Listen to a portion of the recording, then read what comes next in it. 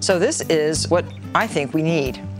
There are these wonderful towel holders that we made from some old linen dish towels a few years ago. You can see we just folded up the bottom of the towel and stitched on the sides and stitched little compartments right here. And we have some ties on the side. So here we have skewers, different size spatulas, a pair of good tongs, of course, a big fork for churning things, and two spoons, one for stirring, one for lifting, and a brush, just in case we want to brush anything on our barbecue. Now this can be folded down like this, roll up the kit, and this way it really takes up very little space. And not only that, it's washable. So if you put back dirty utensils, you can easily clean this bag. Then we have our matches, of course, our toothpicks, and I like to pack these in Ziploc bags. Every time I come home, I'll clean up whatever I have and repack everything. The matches will stay dry. The toothpicks will stay separate. And these can go with a couple extra bags right into a Ziploc bag like this. This is from Martha by Mail, and I love this pattern, as is the great big tote bag in these French ticking stripes. So this is ready to go. Lots of big lapkins. Now these are dish towels that are the size of what I call lapkins. Really great for a picnic. Now if you're doing a really messy barbecue with barbecue sauce, choose a darker color. So we have our napkins, enough for everyone and a couple extras. A cutting board, essential for a cookout. Salt and pepper, generous amounts in a Ziploc bag.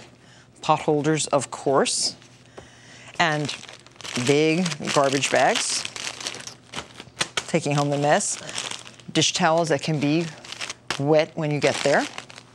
And for dishes, well, I like to be environmentally sound in my approach to a picnic, so we take enamelware. This way we can wash them, pack them up, and take them on the next picnic. No throwing away a lot of expensive paper plates. And a big platter these are all enamel pieces that we've collected.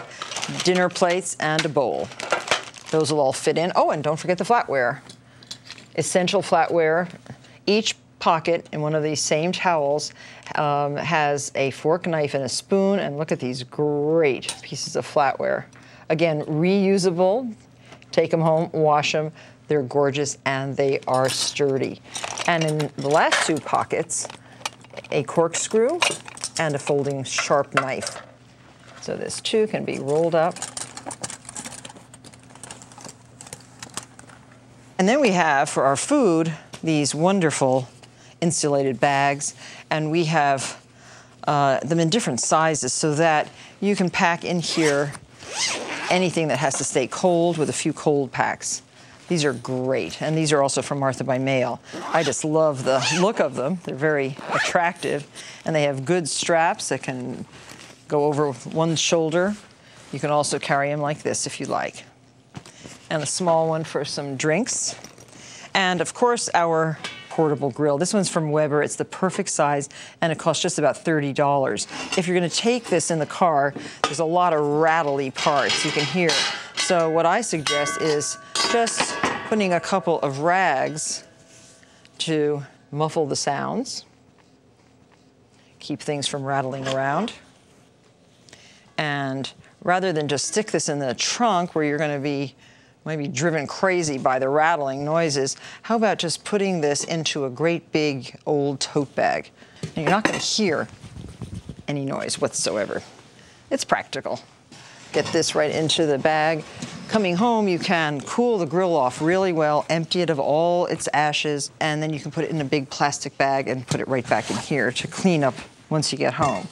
And charcoal, don't forget the charcoal. Oh, I think this is gonna be by itself. So, packing up, heavy things first.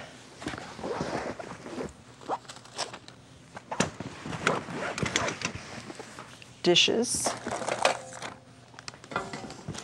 And most important, don't forget the food. It's a horrible picnic when you get to the beach and realize that that cooler was left at home. So make sure that these are packed up and those two can go into this very spacious bag. Oh, and don't forget your cutting board.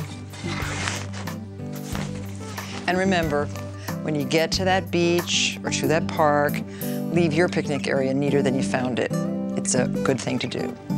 Have fun.